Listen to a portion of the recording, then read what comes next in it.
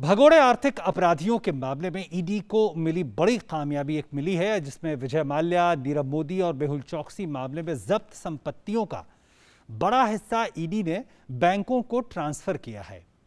सार्वजनिक क्षेत्र के बैंकों को ईडी ने अब तक नौ करोड़ की राशि ट्रांसफ़र की है।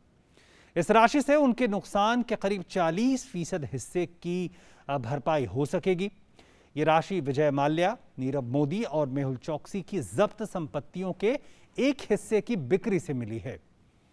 ईडी ने अब तक विजय माल्या, मेहुल चौकसी और नीरव मोदी की एक हज़ार अठारह सौ अठारह सौ एक सौ सत्तर करोड़ की संपत्ति अटैच की और सीज की है। ये रकम बैंकों के कुल नुकसान का करीब अस्सी दशमलव चार पाँच फ़ीसद है।